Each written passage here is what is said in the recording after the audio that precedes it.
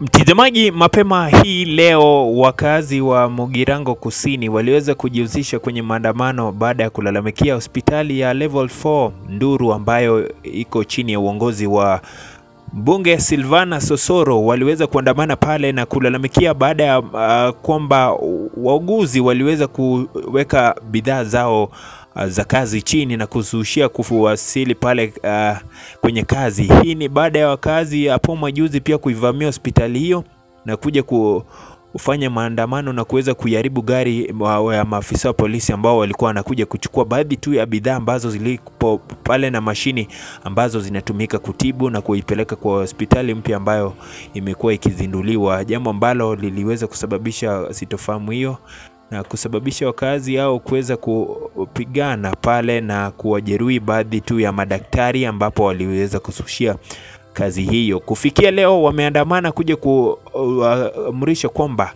hospitali hiyo ifunguliwe mara moja. Hata hivyo mbunge wa Mugirango Kusini hajazungumza, atakuwa na kufahamisha zaidi kile ambacho kitakuwa kinajiri tokea kaunti ya Kisii. Endelea kusubscribe kwenye TNG Media.